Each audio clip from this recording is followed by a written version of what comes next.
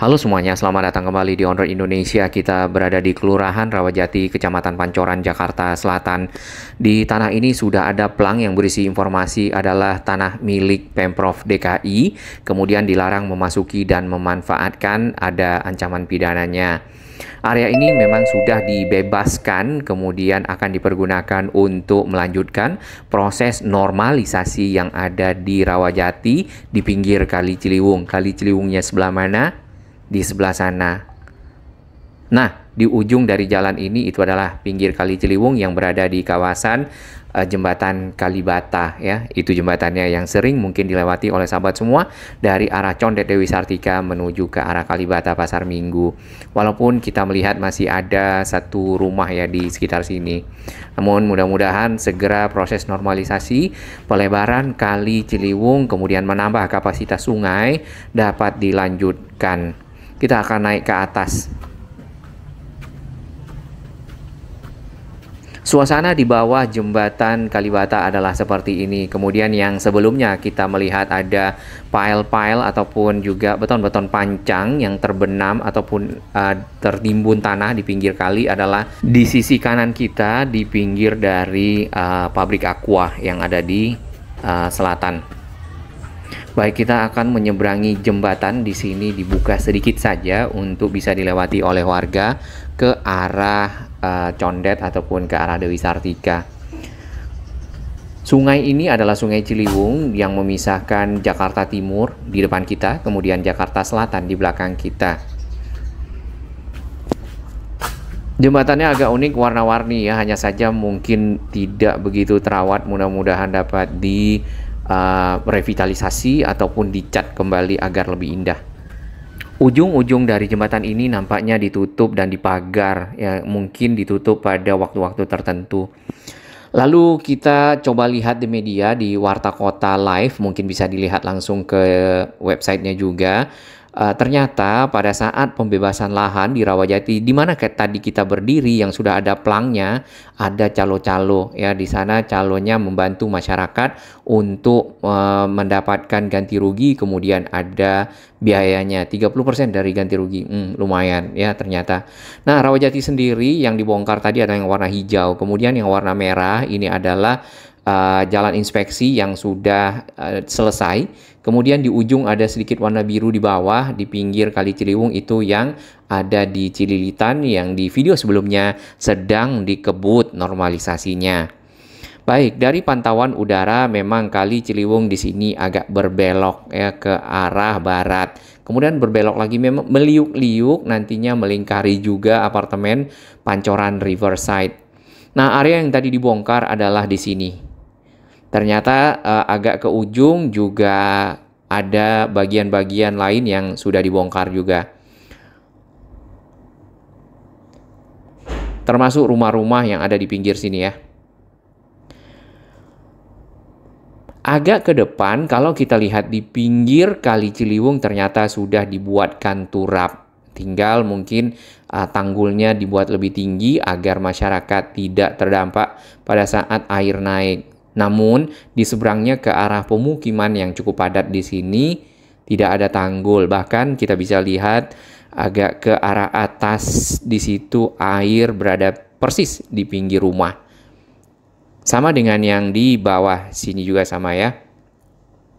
Nah, area-area inilah yang nantinya akan dilebarkan, dibuatkan tanggul Kemudian mungkin akan ada jalan inspeksi sehingga dapat dilewati oleh kendaraan-kendaraan, apakah itu kendaraan operasional ataupun kendaraan lainnya terkait pemeliharaan sungai atau juga masyarakat yang akan melewati area ini. Ternyata di bagian pinggir sungai yang agak ke arah selatan ya, masuk Jakarta Selatan, ada jalan yang sudah dibuat di sisi bawahnya. Walaupun ke arah kanannya Jakarta Timur agak menyempit ya sungainya. Kemudian rumah-rumah masyarakat persis berada di pinggir kali. Di bagian bawah itu ada tenda tadi warna kuning. Biasanya tenda dipakai oleh SAR dan ada perahu ya ataupun bot Biasanya perahu tersebut atau bot tersebut dipakai untuk rescue, terutama pada saat uh, air Ciliwung naik. Nah, masih berliku-liku kalinya sampai ke arah apartemen Rivers, uh, Pancoran Riverside yang ada di sana.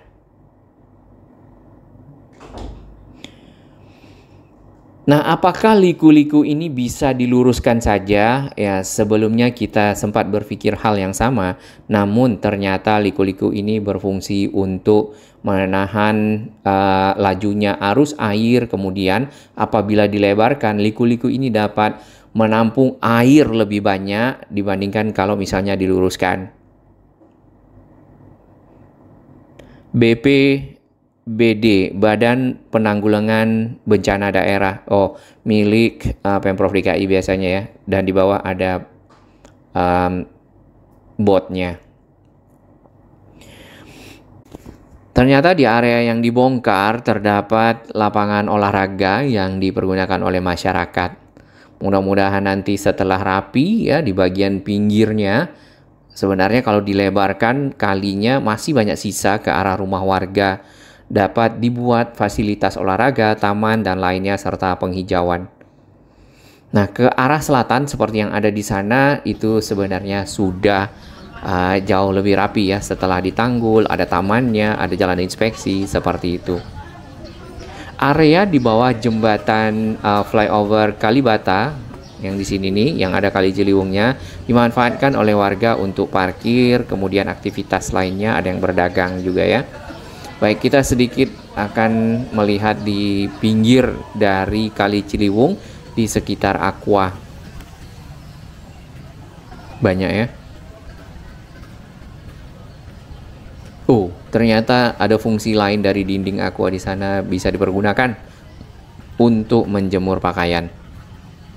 Ini jalan inspeksinya yang sudah jadi dan mudah-mudahan segera dilanjutkan. Di ujung sana ada musola kemudian musolanya nanti akan dipindahkan sesuai kemarin di video pertama bersama warga lalu dapat dilakukan pengurukan ya uh, karena sudah ada juga pondasi untuk pembuatan jalan inspeksi sebelumnya. Lalu yang kita lihat juga di pinggir-pinggir uh, ada beton-beton pancang yang tertimbun dan tidak dipergunakan sejak dari mungkin 2015-2016 karena bertuliskan tanggal di sekitar situ. Area pinggir kali untuk ke arah Jakarta Timur ya kalau kita lihat di sisi kanan dipergunakan untuk menempatkan sampah ya kemudian uh, bekas-bekas uh, kayu, potongan-potongan kayu Nah, sedimentasi ada di pinggir kiri kanannya, nantinya mungkin akan dibongkar. Ya, kemudian disesuaikan lebarnya standar kali yang dapat dilalui oleh uh, air dengan baik tentunya.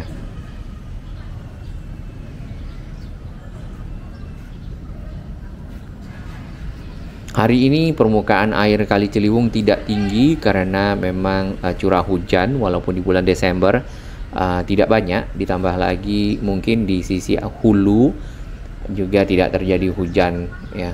Hanya saja air uh, berwarna coklat namun tidak banyak sampah untuk sampah sendiri sudah ada uh, proses penyaringan di TBC Matupang, kemudian juga ada penyaringan-penyaringan yang menggunakan pelampung-pelampung di beberapa lokasi dan sudah diambil juga oleh para petugas jadi kepada masyarakat untuk tidak membuang sampah ke kali walaupun menurut Anda ya itu menghilangkan masalah namun ternyata membawa masalah lain kepada kalinya sendiri.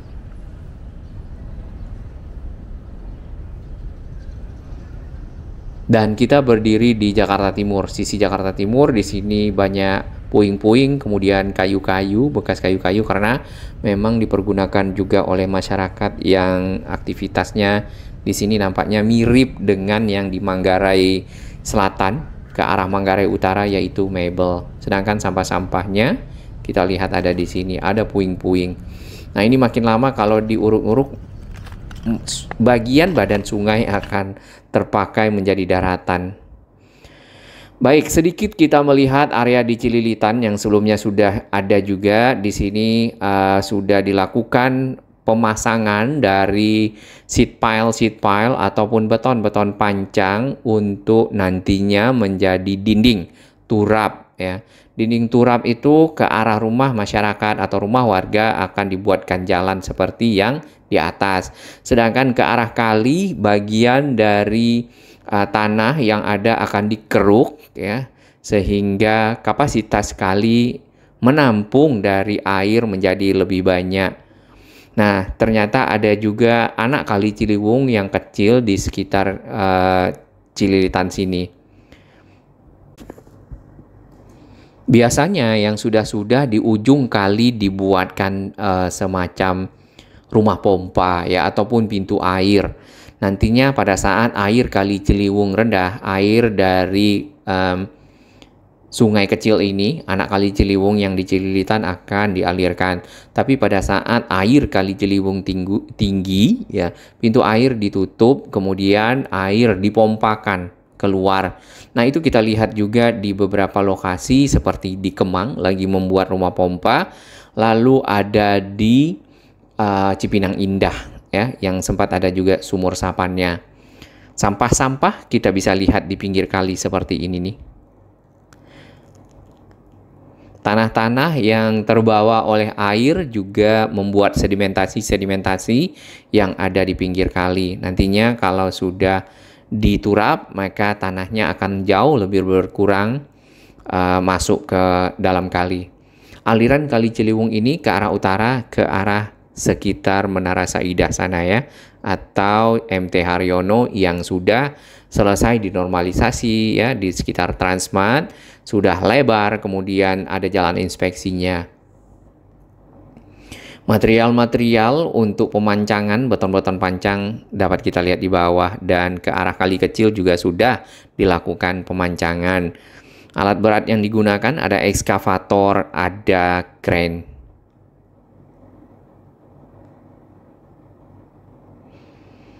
Baik, ini adalah jembatan Kalibata dan ini adalah beton-beton pancang yang sudah ada sejak 2015-2016 mungkin sebentar lagi akan dipergunakan untuk membuat turap ya ataupun membuat tanggul di Rawajati yang tadi di awal sudah dibongkar kemudian sudah dipasang plangnya agar tidak dimasuki dan dihuni kembali oleh warga.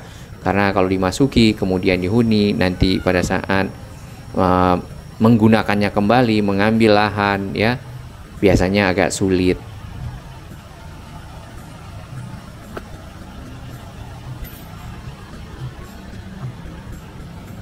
Wah, ini kalau malam mungkin agak seram karena tadi juga ada kainnya.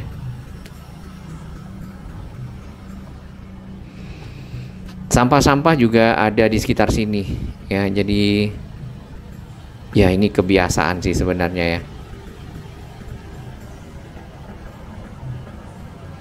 Ujung dari beton-beton pancang ini dibuat lancip seperti itu sehingga mudah untuk di masukkan ke dalam tanah.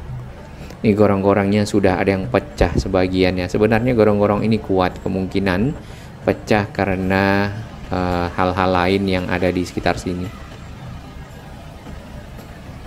Dan beton-beton ini, beton pancang, ini hanya salah satunya yang disusun-susun di pinggir kali ya.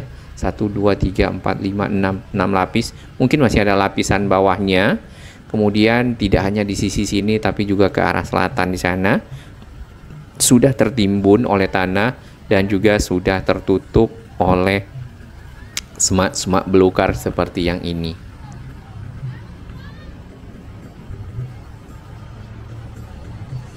Jalan inspeksinya akan segera tembus ke arah musola di situ.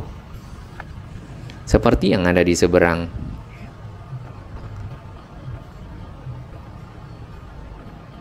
sedimentasi mungkin perlu dikurangin ya untuk yang di seberang walaupun ada jalan ke bawah nih. Jalan ke bawah biasanya dipakai untuk alat-alat uh, ekskavator long arm ya, melakukan pengerukan ataupun ekskavator amfibi yang bisa masuk ke dalam air, mengeruk air kali Ciliwung. Tentunya proses pengerukan dilakukan secara berkala sehingga kapasitas sungai benar-benar terjaga. Itu kita lihat di uh, sekitar area Kampung Melayu, Kampung Pulau ke arah Bukit Duri. Dan saat ini sedimentasi-sedimentasi yang cukup besar sekalipun sudah habis dikikis ya terutama di belokan air di jalan Kampung uh, Melayu Kecil 2. Nah, dengan daya tampung yang lebih besar, maka air yang lewat akan uh, tidak meluap ya, karena air muat di dalam uh, kali, kurang lebih seperti itu.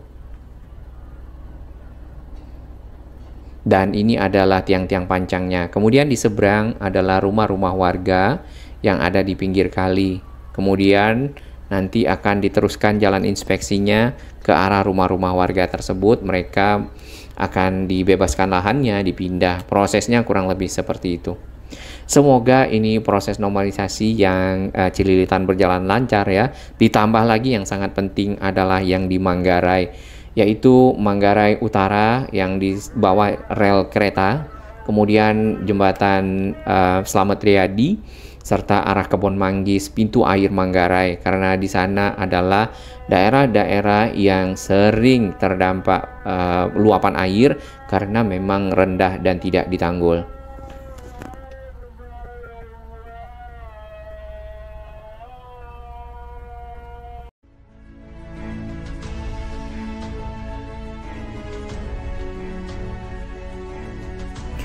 Bagi sahabat kami yang baru menemukan channel ini, silakan subscribe dan ikuti perkembangan informasi transportasi infrastruktur lingkungan Jakarta, Jawa Barat, dan sekitarnya menuju Indonesia yang lebih baik.